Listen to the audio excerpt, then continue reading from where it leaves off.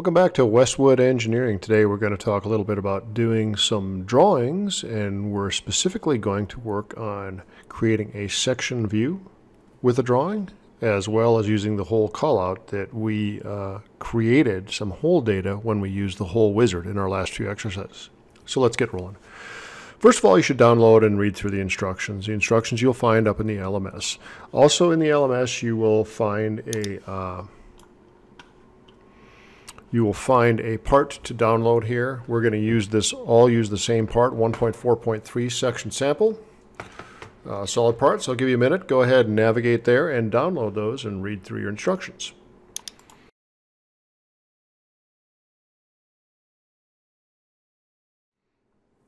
So we've taken a minute, we've looked at the instructions, we've looked at the part, and you're going to notice that this part has essentially two slots, uh, slightly different size, and it's got three different holes in it. And actually, two of the holes are the same, they're threaded holes. Uh, the third hole is a counter bore hole. Uh, all cut through this big old block of, I think I assigned the material copper, just to give it some color. So we're going to make a new drawing out of this. And we're going to use the uh, method of file make drawing from parts. So in order to do that, you need SOLIDWORKS up and running. And we're going to go ahead and navigate to where we stored our part. I built a file on my C drive, so I'll go ahead and go down to Open, navigate to my C drive, to my Westwood Engineering folder, and I happen to be in second hour, and I built a folder 1.4.3. Let's open this part and take a quick look at it. So here's my part. Uh, and I want to go ahead and start a new drawing. So the way I'm going to do that is I'm going to come up here to File, select Make Drawing From Part. It's going to open up my default drawing template. And you see I've got several different views. Now the question is what is the best front view for this drawing? And I'm going to tell you that the best front view or the primary view should be the one that shows the holes since essentially it's a rectangle with holes. So let's start out by just dragging this top view down on to my drawing. I'll base that as my front view. And I'm not going to pull up a true top view of it. I'm going to pull a right view over here. And the reason is it's pretty symmetric and I don't think I need anything more than that. So now I've got my basic drawing view shown there. So my next step that I want to do here is I want to give it an overall dimension. I'm going to go ahead and use my dimension tool and I want to click on the overall dimension of this. You'll see it's 8 and I'm going to come over here and put it uh, as 4 inches. Right over there. I'll pull this drawing view up just a little bit. Now, one thing we want to do is we want to basically uh, dimension our holes. And I'm going to tell you that the way to do that is with the hole callout tool. The hole callout tool you'll find up here on the annotation tab.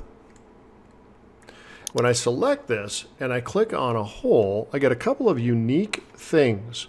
The first unique thing that I'm going to get is I'm going to get all of the details that were captured by the hole wizard. In other words, I'm going to get the thread, thread depth, any kind of surface treatments on the near and far surface, as well as the hole dimensions, size and depth. So when I click on this first hole, I'll go ahead and click on the counterbore hole and I drop it, you'll see that it gives me all of that information. It tells me it's a counterbore, 0.531 diameter, 1.5 deep, and it is uh, got a counter bore that is 1.125 in diameter and 0.364 deep. Well, I'll do the same thing over here for these threaded holes. Now this is interesting because when I drop the threaded hole dimension, you'll notice it also gives me that there's two times that. So I don't need to click on the second hole. And in fact, if I do click on the second hole here, it's going to ask me, hey bud, do you sure you want to do the call, call out again for the same hole sequence? And uh, if you see that, click no. So now in one click, I have given all the dimensions that are associated with these holes. I'll hit the check mark to uh, get out of that dimension exercise. Well, the next thing is we can try and do that same thing. It'd be neat if it worked for the slots, if it told me the size of the slot, and it also gave me the depth. So I'll choose my hole callout, and I'll click on the slots.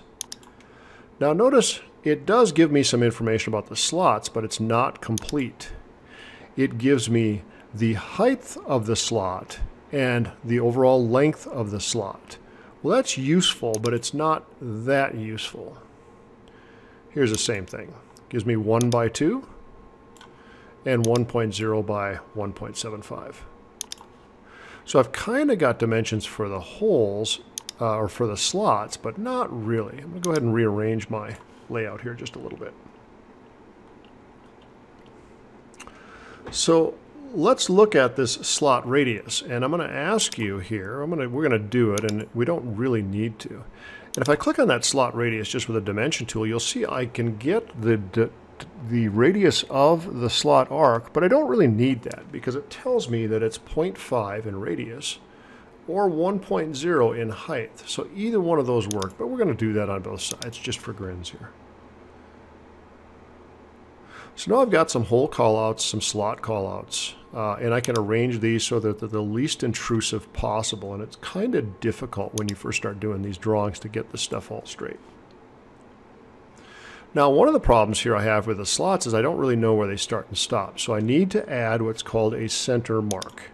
So to choose a center mark, what I want to do is come up here on my Annotations tool tab and choose the center mark icon. Now, specifically for slots, I will tell you, you probably want to make them all the same on a drawing sheet. So let's do that. I'm going to choose the option of auto insert for all slots. And I want to give not a center of the slot, but a center of each end of the slot center mark. So I select those two things, and now to place them, I click on any one slot. And now you'll see I've got center marks that showed up. And what these center marks are telling me is they're telling me where the arc starts and stops for each slot. So very useful information. So now I've got a center mark for the slots. Now you'll also notice that the hole callout automatically gives us these center marks for the hole location. Another neat feature here. So the check mark accepts those centerline slots. And now let's go ahead and give some dimensions to show where these slots are. I'm going to pull this 8 way down here in anticipation of needing that room. I'll choose my Smart Dimension tool. And I'm just going to go from the left edge and I'm going to click on the vertical portion of the center mark. And that's the center line of the center mark that's vertical. Uh, and if I do that, I get the distance between the two lines. Now I'm going to show you what happens if you click the wrong way. So if I click on the vertical left edge and then the horizontal center mark, oop, I get an angle.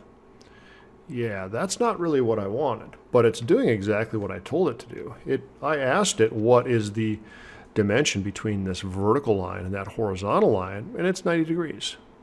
So I want to go vertical to vertical. So I'll go over here to my vertical mark and drop it. And I'm going to continue on.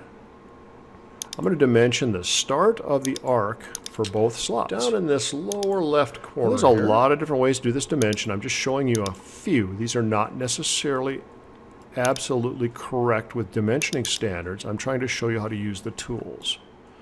So we'll pull these up and make them nice and neat. It's a fairly busy drawing.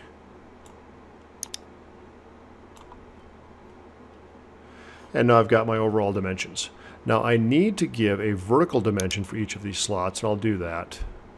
So I'll go from the bottom edge for this right one, bottom edge to the horizontal line for the left one. And we'll drop that, and I'll pull these in a little bit again keep it a little tighter. That looks pretty good. So now I'm pretty close to dimension here. Uh, one thing you're going to notice is I don't have any locations on the holes. So this is going to get a little messy. What I'm going to do is drag my so we haven't done this slot yet, dimensions so down here a little bit. So you can see how we use that space to place some hole locations. So similarly, I'm going to go from the left edge to the vertical center mark.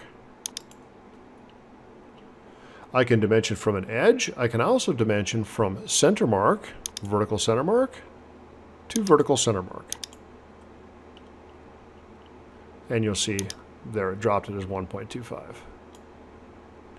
And we'll do that one more time. Vertical center mark to vertical center mark. Drop that one. Now that doesn't look too bad. I'm going to pull this hole mark off the edge here and I'm going to extend these location lines up.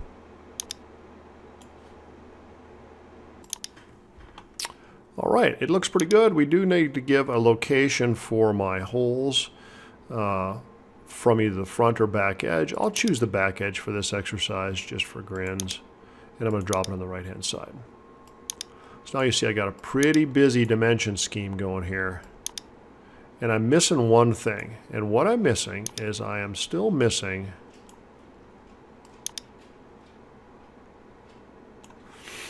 the overall depth. So I'll go ahead and drop that right here. There's the overall depth. So now I've got height, width, depth, location of all the holes, size of all the holes, size of all the slots.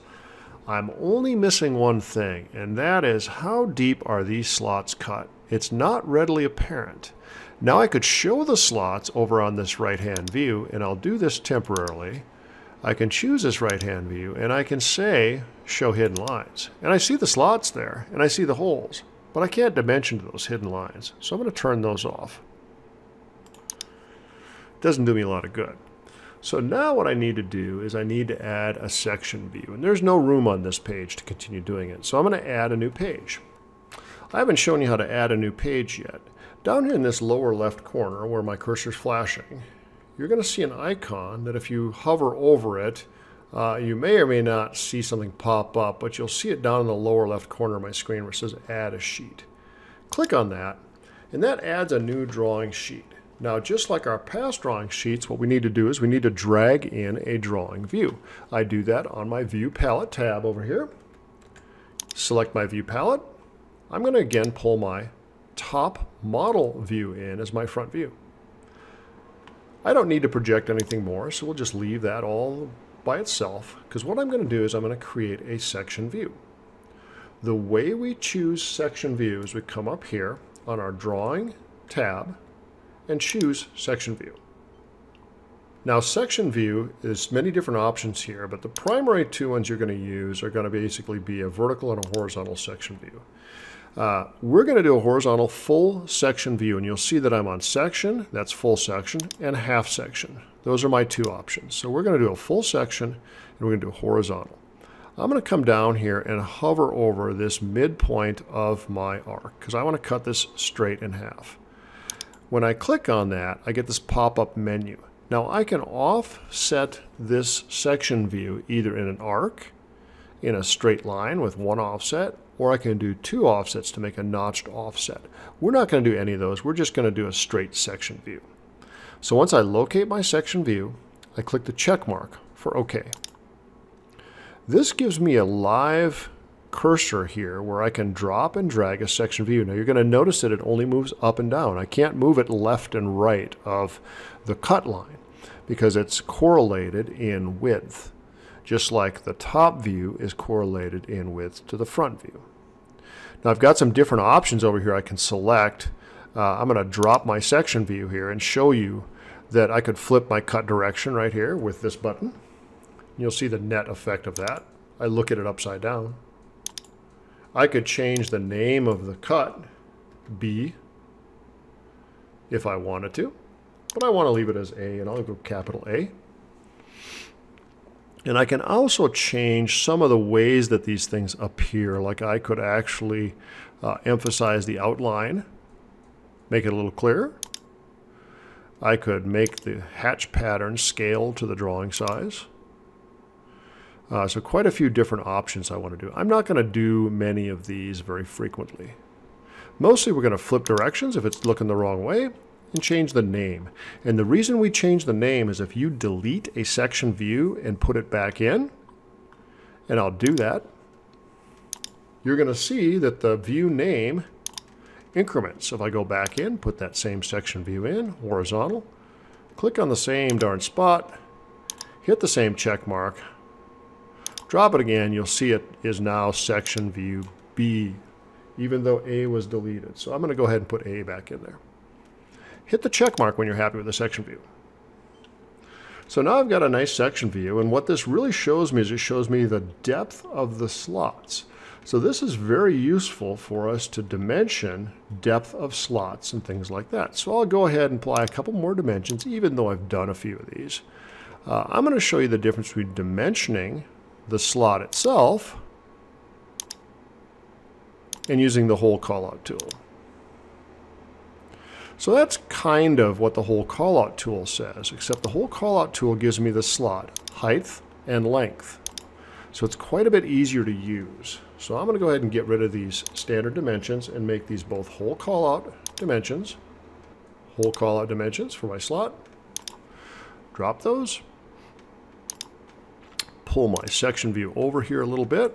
And then the other thing I want to do is I want to actually dimension the depth of my slots. Now these two slots happen to be the same depth, but if they weren't the same depth, we need to give each a depth, and I'll give them both a depth. So now I've got more information about my slot, and I've shown the size and depth of the slot. Now the last thing I want to show you is I want to show you that we can save this part. I'm going to get these dimensions right so they look proper. Uh, and I'm going to go ahead and save this and it's going to save as default to the uh, same file location as the part came up, same name, just a SOLIDWORKS drawing extension. And after I save that, I'm now going to save this as a PDF for submission. And this is important because whenever you have more than one sheet to a drawing package, you're going to get this message. And this message is asking you for the PDF export. How many of the sheets do you want to export? We want to export all these sheets. So let's go ahead and click on OK. And what you'll see back in my folder, location, in 1.43, I've got the drawing, I've got the PDF. You're going to want to submit the PDF of the sample part. Two sheets, first sheet, second sheet. So that's a brief introduction in how we drop section views uh, and also how we use the uh, hole callout in a drawing to give us a lot more information about a hole that we made with the hole wizard. Submit your uh, PDF file and thanks for watching.